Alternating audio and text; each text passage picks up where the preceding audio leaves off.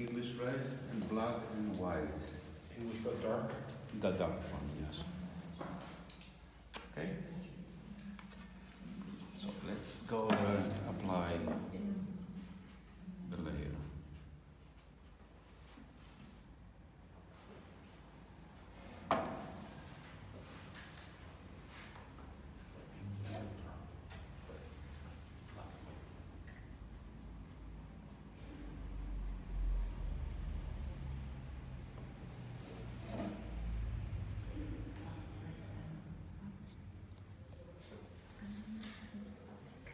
Black.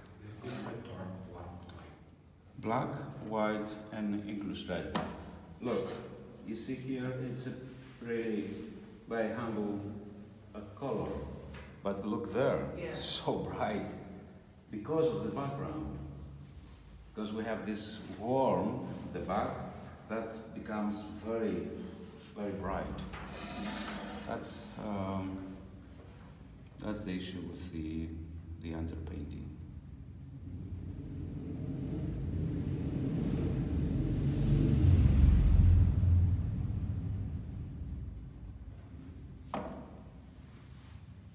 Because this is warmer, we cover the whole thing. Hmm? Because this color is warmer, we cover the whole thing, or do we show the? No, no, you see that I, I keep the underpainting. It's over here. So let's build that first, and we can go back to.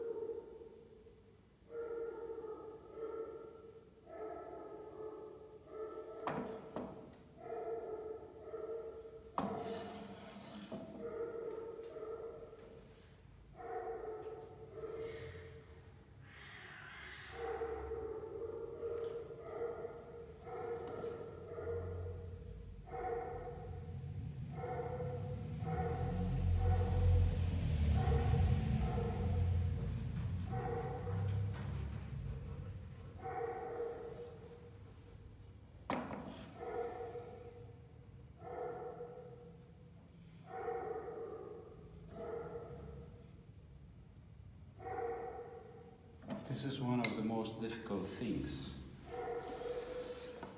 Okay, now let's go back and shape the forms better. So that means that I go back to this, which is ochre and red.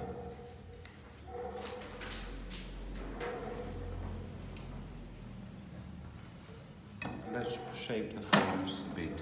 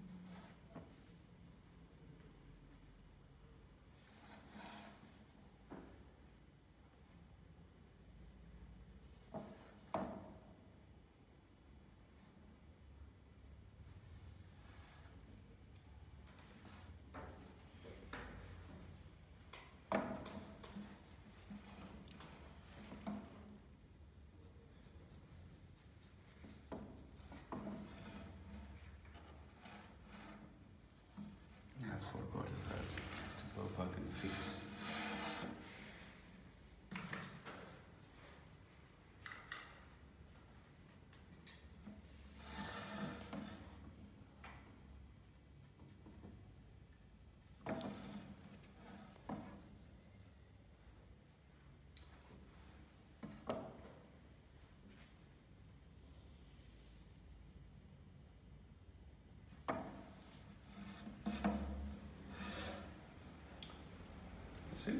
Yes.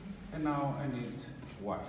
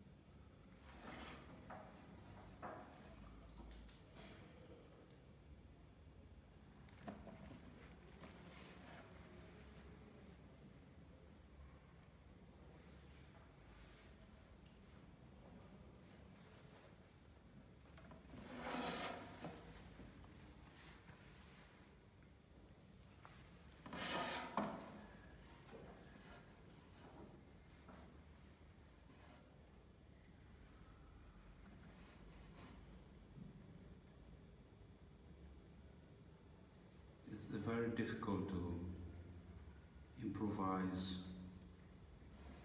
in, in garments. So that's why it's good for the beginning, for the first, for the first 25 years. it's good to just to follow an example.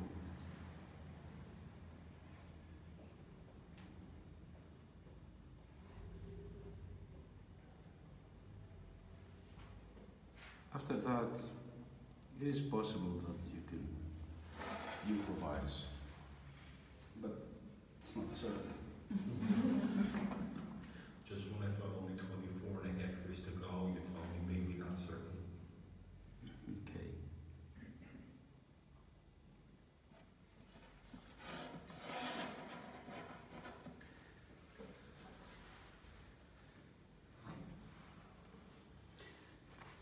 Then you can just finalize the, the, the, the, the definitions, dark areas.